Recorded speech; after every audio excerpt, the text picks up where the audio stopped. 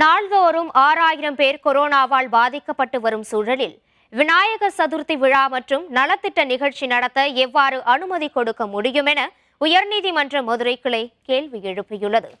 விநாயகர் சதுர்த்தி விழா நடத்துவதற்கு அனுமதி வழங்க கோரி ராஜபாளையத்தை சேர்ந்த ராமராஜ் என்பவர் உயர்நீதிமன்ற மதுரை கிளையில் மனு தாக்கல் செய்திருந்தார். இதனை விசாரித்த நீதிபதி பொங்கியப்பன் கொரோனா தாக்கம் உலக நாடுகளையே அச்சுறுத்தி கொண்டிருக்கக்கூடிய சூழலில் தமிழகத்தில் தினம்தோறும் ஆறாயிரம் பேர் பாதிக்கப்பட்டு வருவதாக சுட்டிக்காட்டினார்.